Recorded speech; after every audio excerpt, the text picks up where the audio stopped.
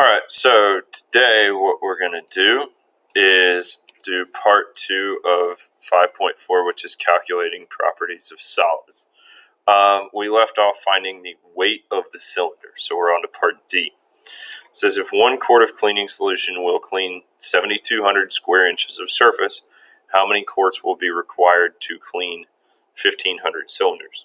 So this is really a conversion problem, so we need to establish some equalities instead of formulas.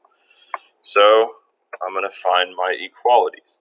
So if I read the problem, it says 1 quart equals 7,200 inches squared. And also, I need surface area, so 33.67 inches squared equals one cylinder. And I'm going to need to cover 1,500 cylinders. So let's substitute or figure out what we're going to do to attack this problem. So what we need to do is we need to figure out how many total square inches we need to cover for all 1500 cylinders. So we need 33.67 inches squared because that's for one cylinder and we're going to multiply by 1500 cylinders. Okay, so we'll take that answer and then divide by how much square inches one quart covers. So we're going to divide by 7,200 inches squared in one quart. And I go to solve this, go back to my calculator. So I'm going to type in 33.67 because that's the surface area of a cylinder times 1500 divided by 7200 and I get an answer of 7.014. Now I can't um, get 0, 1 of a quart, so I'm always going to round to the higher whole number. So my correct answer here is going to be 8 quarts needed. All right.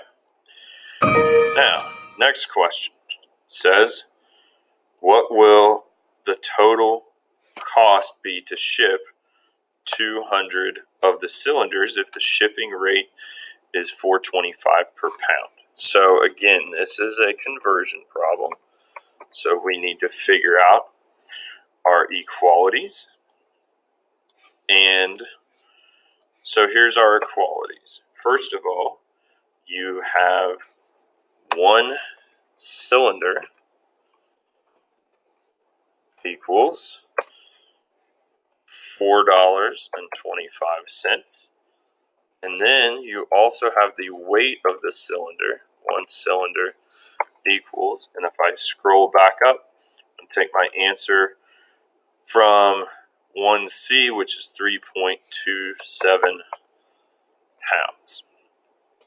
All right, now I'm ready to substitute and write out my problem before I go to my calculator.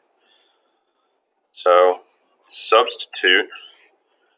So I'm going to do one cylinder. Times 3.27 pounds. Times $4.25 per pound. And then I'm ready to solve. So I enter all of those into my calculator. So I'm going to do one cylinder times 3.27 pounds times $4.25. Oh, and also I need to multiply by 200 because that's how many I'm shipping. So my correct answer here is $2,779 and 50 cents. All right, let's move on to F. F says if a cylinder for a larger window is cut from the same stock, meaning having the same diameter, must have a weight of 4.25 pounds in order for the window to operate properly. How long must the counterweight cylinder be? So, how long they're looking for a new height of the counterweight cylinder. So, in order to get a new height, we're also going to have to calculate a new volume. So, I'm going to start out with my formulas. So I want weight equals volume times density weight or dW. And I know I'm going to need the formula for a cylinder, for the volume of a cylinder again. So V equals I alt 227 R squared H. So those are my two formulas. So let's use some algebra here um, to substitute and rework this problem. So we know that we're going to have a weight of new weight of 4.25 pounds and we're also going to have the same density from the top of 0.0259 pounds so if I plug these into my formula, I'm going to have 4.25 pounds and I'm going to divide out my density. So divide by 0.259 pounds per cubic inch. My first formula. Now, my second substitution is I'm going to take my new volume and I want to find the height because the radius stays the same. So I'm going to have my new volume and I'm going to combine like terms and get my pi r squared and then solve for height. So let's go ahead and put in our new volume into our calculator. So 4.25 divided by 0.259. And that gives me a new volume of 16.4 cubic inches. So remember, we're solving for height.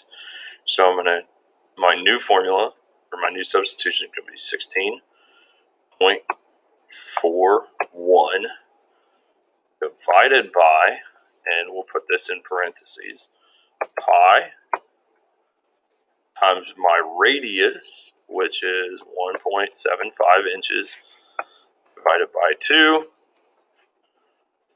And I will square that, um, and that will isolate my height. So now I'm ready to solve and to put that second formula into my calculator. So I'm going to do, uh, we'll put H equals up here. So I'm going to do 16.41. Let's put it into our actual calculator. 16.41 divided by, and pay close attention to your order of operations here. So let's use some parentheses. 3.14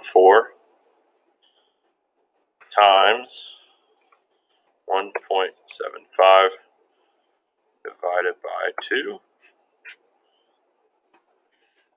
Close that parenthesis and then square it and close the last parenthesis. So I hit enter and I get an answer of 6.825. so I'm going to round that up to 6.83 inches. Stay tuned for part 3 of 5.4.